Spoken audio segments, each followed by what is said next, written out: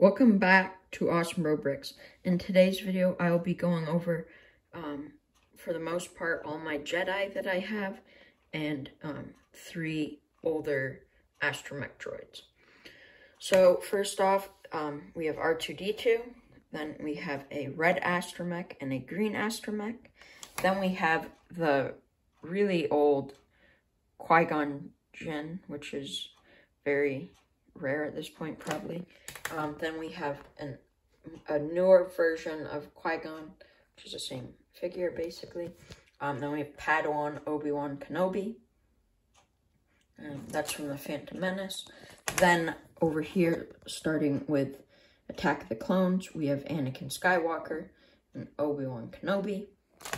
Then we have Mace Windu.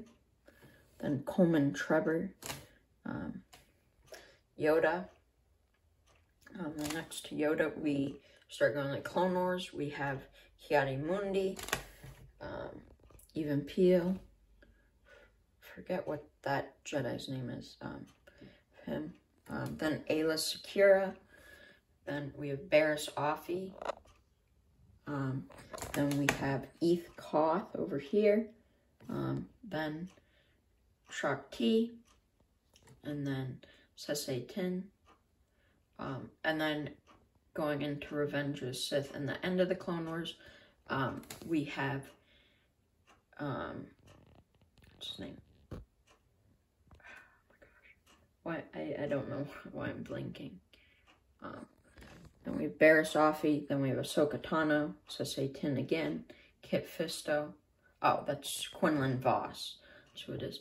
Um, then I forget what that Jedi's name is. Um, then Mace Windu again, then Obi-Wan Kenobi, and Anakin Skywalker.